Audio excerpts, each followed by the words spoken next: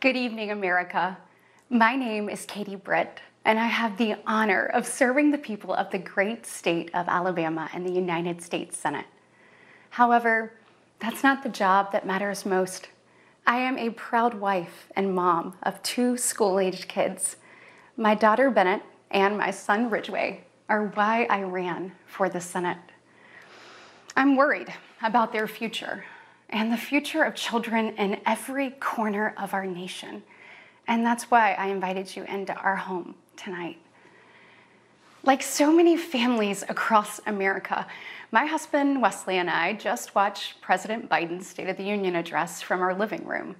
And uh, what we saw was the performance of a permanent politician who has actually been in office for longer than I've been alive. One thing was quite clear, though President Biden just doesn't get it. He's out of touch. Under his administration, families are worse off, our communities are less safe, and our country is less secure. I just wish he understood what real families are facing around kitchen tables just like this one. You know, this is where our family has tough conversations. It's where we make hard decisions. It's where we share the good, the bad, and the ugly of our days. It's where we laugh together.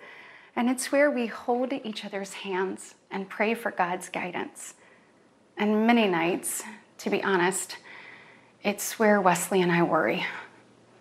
I know we're not alone. And so tonight, the American family needs to have a tough conversation because the truth is, we're all worried about the future of our nation. The country we know and love seems to be slipping away, and it feels like the next generation will have fewer opportunities and less freedoms than we did. I worry my own children may not even get a shot at living their American dreams.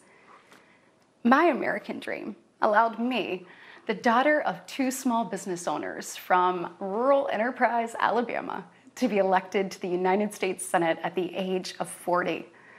Growing up, sweeping the floor at my dad's hardware store and cleaning the bathroom at my mom's dance studio, I never could have imagined what my story would entail.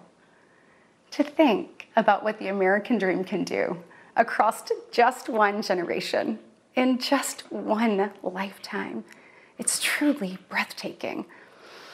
But right now, the American dream has turned into a nightmare for so many families. The true, unvarnished state of our union begins and ends with this our families are hurting. Our country can do better. And you don't have to look any further than the crisis at our southern border to see it. President Biden inherited the most secure border of all time. But minutes after taking office, he suspended all deportations, he halted construction of the border wall, and he announced a plan to give amnesty to millions. We know that President Biden didn't just create this border crisis, he invited it with 94 executive actions in his first 100 days. When I took office,